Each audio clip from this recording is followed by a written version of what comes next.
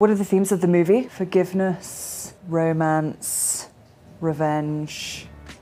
Paris Hilton. All right, we went with like the the purple ambiance today. So like in my head, the top of my head is not pink. There's like light bulbs that are a different color.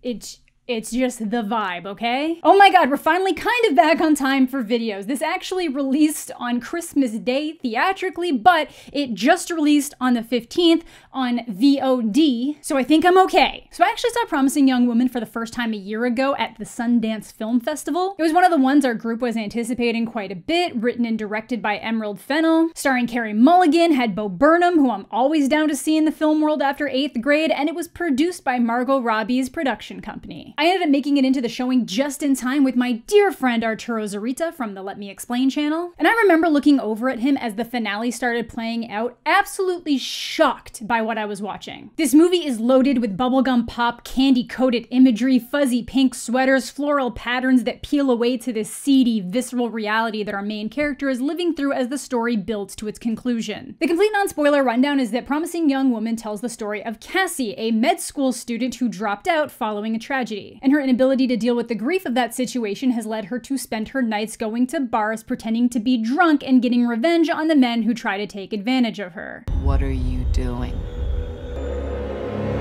So before I get into any specifics, I will say that this movie obviously deals with some pretty heavy subject matter. It has comedic aspects, but don't go into this movie expecting something light. It's a very dark comedy revenge thriller in which someone is willing to destroy themselves to enact that vengeance. There's nothing overly graphic throughout the movie, but there is a scene at the end that will be very hard for some people to watch. And it seems like it's an incredibly divisive movie, even amongst my own friends and mutuals. But as long as you go into this movie knowing what it is and what to expect, I think you'll have a better time. I'm not saying you'll love it or even enjoy it, but I think the framing will help. It's fine if you wish the story was something else by the time it gets to the end, but I do think it does what it set out to incredibly well. It also has an incredible soundtrack loaded with all sorts of pop music that people often want to dismiss. We got Fletcher, Muna, Paris Hilton, and a Britney Spears cover. 10 out of 10. And I really enjoyed the movie as a whole. I've seen it three times now, and the more I watch interviews with Emerald Fennell and Carey Mulligan, the deeper that appreciation gets.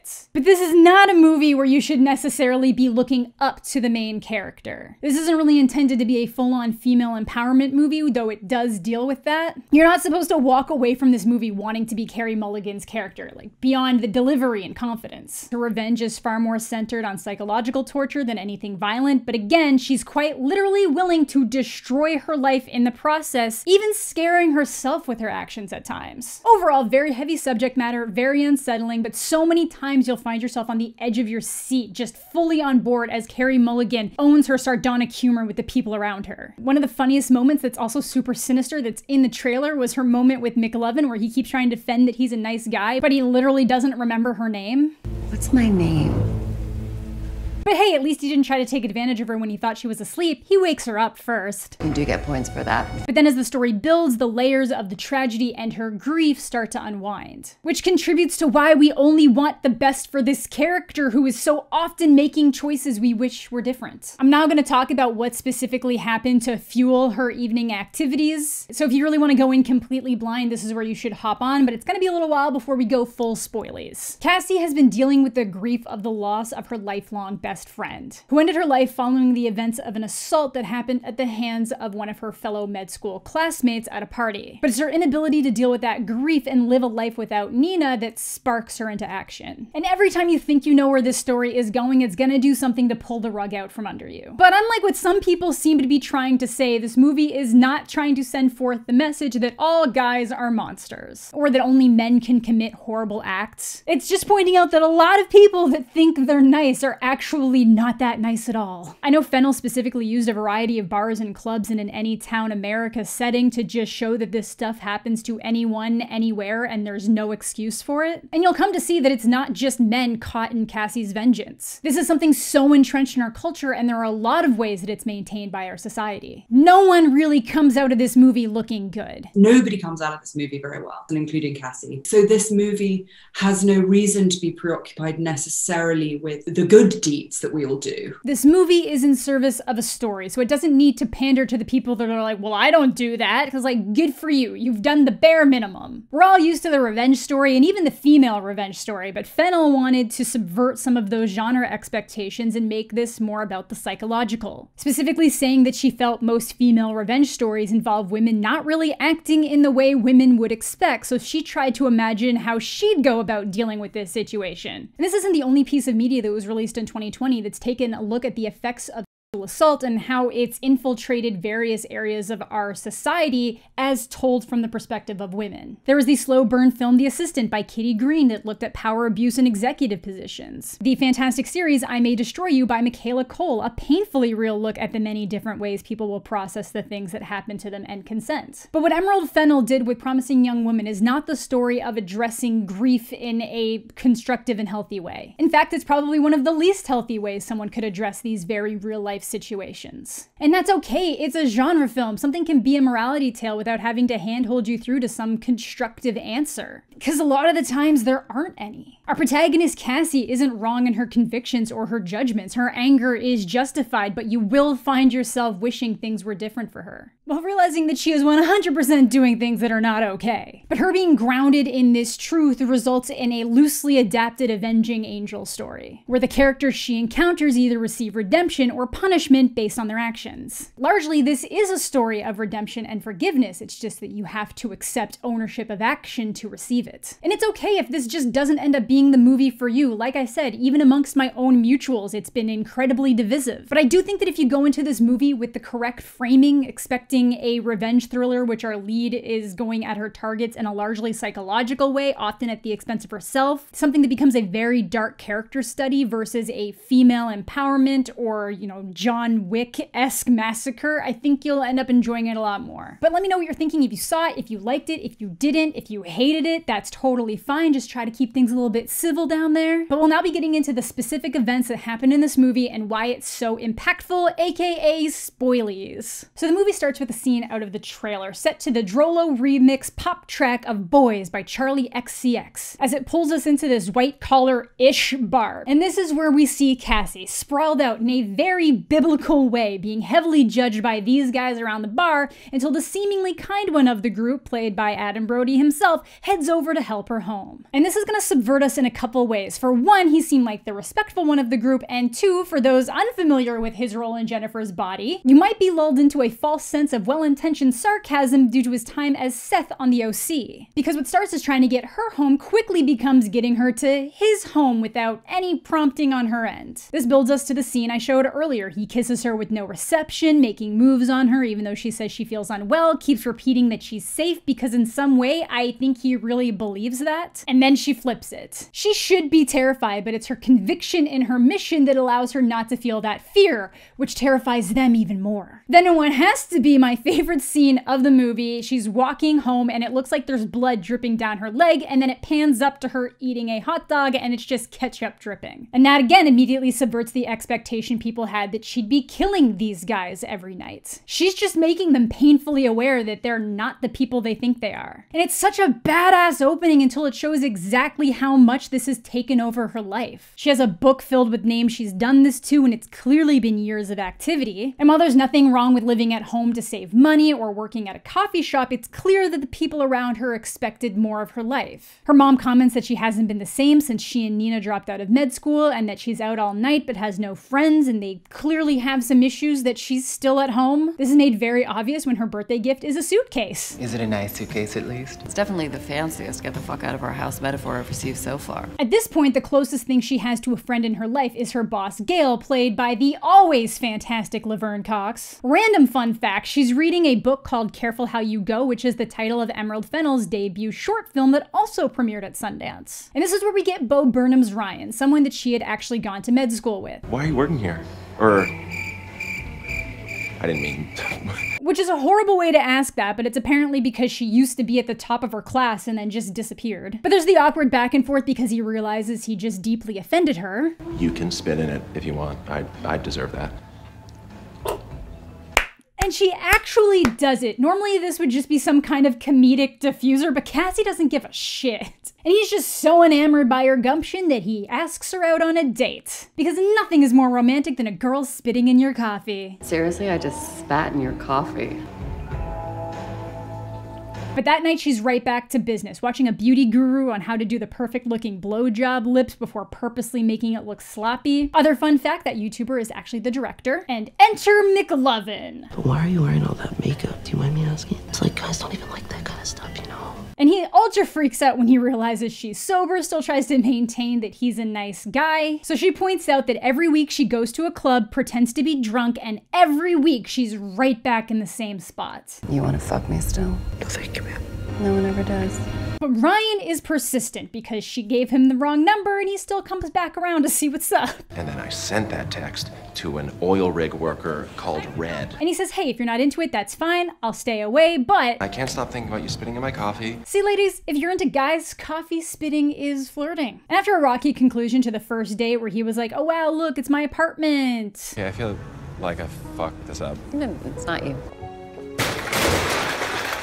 She actually genuinely enjoys their time together and starts getting happy again. Gail is giving him the third degree about killing children because he's a pediatric surgeon. It's perfect. But the danger of them dating is that it pulls her back into the life she left behind. He's confused as to why she dropped out because she was so far ahead of everyone in class, and when he brings up someone named Al Monroe, that sets her off. And he's getting married. I know, God help her.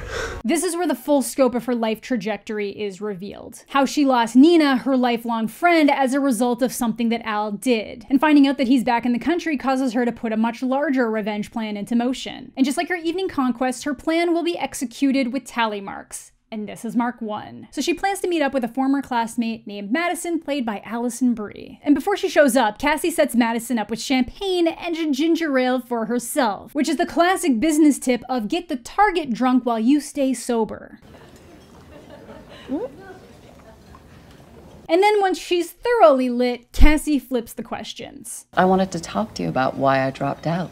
And we find out that Madison pretty much puts the blame on Nina for what happened. She comments that if you have a reputation for sleeping around, what do you expect? Complete victim blaming that will become way more concerning once the movie continues. Sorry. For your sake, I was hoping you'd feel different by now. Then Cassie pays a guy at the bar to take the now very drunk Madison up to her room. Just remember what I told you earlier about Cassie being all about the psychological. Mark 2 is Dean Walker. Cassie pretends that she wants to resume her education, but then starts trying to find out if the dean remembers anything about what happened to Nina and why they dropped out, which she doesn't, but she does remember Al. So Cassie tells the dean all about what Al did to Nina, how he took advantage of her in front of all of his friends while she was too drunk to know what was happening, repeatedly, how she had bruises all over her body. Do you know who Nina spoke to?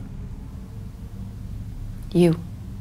So she tries to spin it. It was Nina's fault for making the choice to be that drunk. These things just happen and she probably looked into it thoroughly at the time. Then she asks if Nina is okay. No, she's not. But Al Monroe is. And whoopsie, forgot to mention that Cassie manipulated the dean's daughter into waiting for her favorite band at a local diner, but tells the dean that she dropped her off with the guys that now live in Al's old room. So she, of course, wants to know which one. I told you I don't remember that. Well, that's a shame. And after a thorough freakout, she finally admits she was wrong. I guess it feels different when it's someone you love. So Cassie tells her that she's safely at a diner and that she should go get her because she'll probably never realize that the band isn't coming. She's kind of an idiot, huh? Who needs brains? They never did a girl any good. That scene, holy shit. And this should have been the indication that this movie wasn't just a blatant hit piece on men. It's a movie that shows the many systems in place that allow these behaviors to continue. Hundreds of thousands of these assaults don't get dealt with properly at the college level because the school just wants to sweep it under the rug. Friends want to make excuses for behavior. But we're starting to see the toll this is taking on Cassie. She is slumped over in her car after this meeting, and then this guy starts to yell at her, so she smashes the hell out of his truck. And this is normally where the hero would walk off in a blaze of glory, but she kind of immediately realizes that she fed up and could get arrested. And at this point, she's blown off a date with Ryan because she was late and forgot about it because she's been so obsessed with this revenge plot. But then he ends up seeing her out later that night on one of her ventures. Ventures that are gaining some notoriety. I'm not the only one who does this. There's a woman in the city that carries a pair of scissors. But the true mission must continue. Mark III is the lawyer. I'm afraid it's your day of reckoning. I've been waiting. And while he doesn't know who she is, he has been waiting for the day that someone would show up to hold him accountable. You see, this is a defense lawyer, one who specifically made a career out of bullying victims to drop their cases, the man who bullied Nina into dropping hers. Even when he knew his clients were guilty, which I get is his job, but is disgusting. And while he doesn't remember the last name, he does remember that her name was Nina based on the very minimal description of events. Nina? It was Nina, though, wasn't it?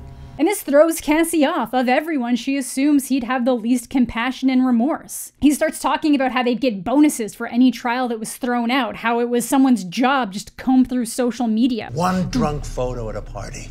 Oh, you wouldn't believe how hostile that makes a jury. And he actually wants her to do something to him because he hasn't been able to sleep because of the guilt. So she forgives him. I'm so sorry. Go to sleep. And that's what it takes to get the redemption from our avenging angel. Do I go in now? No.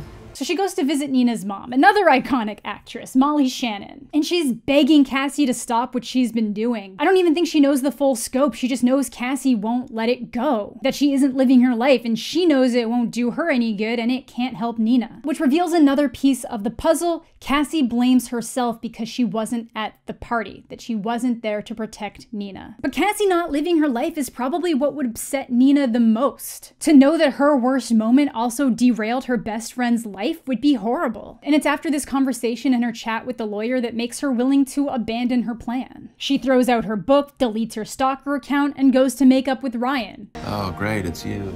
But he does come around pretty fast. Do you want to go to dinner, you miserable asshole? And everything seems perfect. The movie becomes a genuine rom com. They dance to Paris Hilton in a convenience store and everything. She takes him to meet her parents. They're falling in love. And her parents are just so happy that she's starting to live her life again. Nina was like a daughter to us. We really miss her. But God, we have missed you. But then Madison shows up on her doorstep begging for answers. And for those who were concerned, no, nothing happened to her. Cassie is terrifying, but she wouldn't get vengeance by putting someone in the same situation. Not that what she did do was remotely okay. He didn't touch you.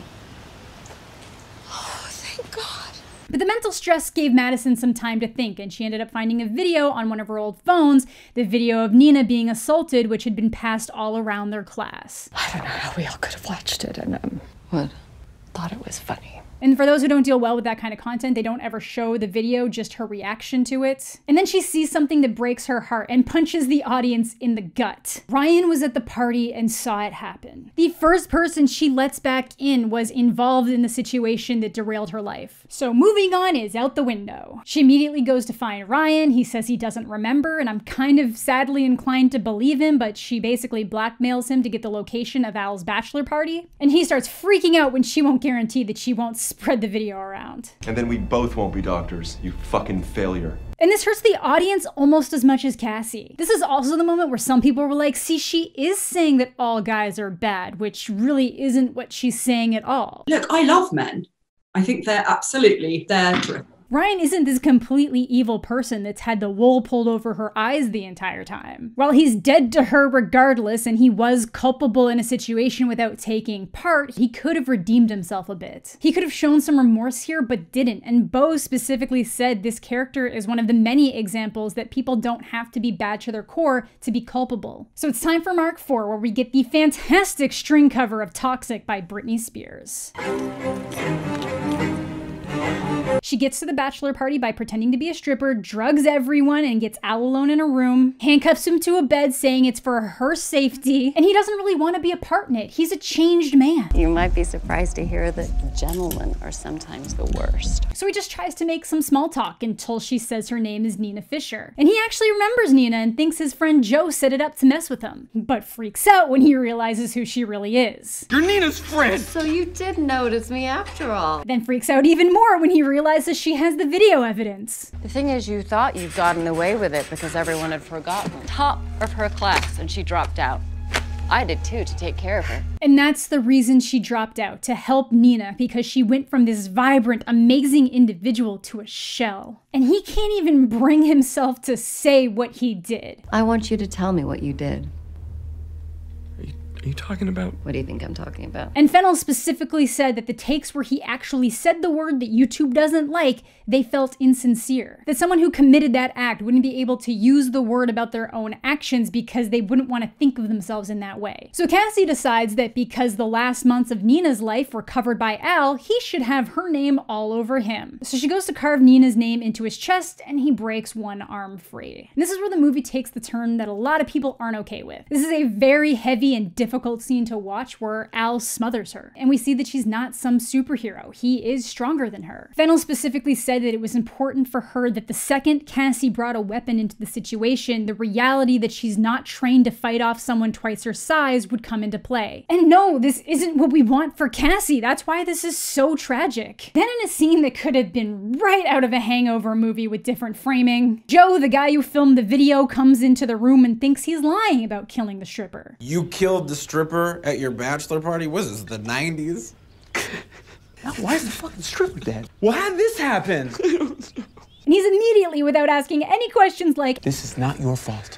I don't know, it kind of seems like it is. But Joe keeps trying to reaffirm to him that it's an accident and no one's gonna find out because they're just gonna get rid of the body. And how daring for a movie to play out its final 15 minutes without the only character we've been following the entire runtime. So they burn her body, her parents report her missing, and I feel so bad for them to get a glimpse of their daughter back. And just because she was prepared to lose everything, it doesn't mean they were prepared to lose her. But she was prepared. A detective goes to talk to Ryan, and this would have been his chance to say that he knew exactly where she went that weekend, but instead he just implies that she might have been in a mental position to hurt herself. Dick. And then it's the wedding day. Everything seems great. Joe doesn't have a care in the world, and Ryan finally realizes how much of a creep he actually is. But then he gets a scheduled message from Cassie's phone that says, You didn't think this was the end, did you? And yes, some logic here might get iffy, but she sent a package to the lawyer with the phone that has the video, all the info, and instructions to go to the police if she disappears. And then you hear the sirens closing in as Mark V is complete. She leaves her half of the heart necklace to Gail. The police find the ashes of her body. Al gets arrested. They'll likely catch Joe too, and they may not fully answer for what they did to Nina, but they'll get a hell of a lot worse for not reporting Cassie as dead. And the cops now have the video, so who knows what else might happen. But that's the end. And it's certainly not an ending that some people wanted, and there was a clear way to make this the easy crowd pleaser. But Fennell commented that people have seen that movie, and it's endings like this that make movies truly memorable. For better or for worse, if you loved it or hated it or found it distasteful. And you often find your closest friends just don't agree with you on stuff. And Mm. that's like, that's what you want. You want something to be thrilling and engaging, but also to like poke you in a way that makes you want to talk about it at least. You don't want to leave a movie and be like, okay. It wasn't a suicide mission, but Cassie went into that situation knowing that the worst could happen. And I was shocked that they committed to this ending. That was literally like my last note from Sundance. It's a gutsy ending. Regardless of what so many people wanted, because we all wanted the best for Cassie, she committed to that ending, giving Cassie the last word in the most horrific way. And to round it out, I like this quote from Carey Mulligan about the movie. The other day, someone said, Yeah, but is she just crazy at the end? Has the grief driven her mad? Responding that the point is that we have countless films about men who go on crusades on behalf of their loved ones, and we never say they're crazy or that they've lost their minds from grief. They're going around having shootouts and ninja fights in every scene. That is objectively insane. What Cassie's doing by comparison is fairly mild. It's just an interesting reaction because there's a huge amount of logic actually to what she's doing. Again, doesn't mean it's healthy, doesn't mean you have to enjoy what happened, but I do think that the discourse around the movie's been interesting to say the least. One thing I will say is that I don't think you'll ever be bored during the runtime. It's such a tough subject, and some people may feel like it lacked empathy going into the end in favor of a gotcha moment. But this is the story that Emerald wanted to tell, and I'm glad she was given the platform to do it exactly the way she wanted to. That's gonna do it for today's video. Make sure to let me know what you're thinking in the comments down below. Thanks as always to my patrons. Subscribe to the channel if you're new. Leave a like on the video if you're into that kind of thing. I hope you're all having a fantastic day. I'm mostly okay, and we'll catch you all later.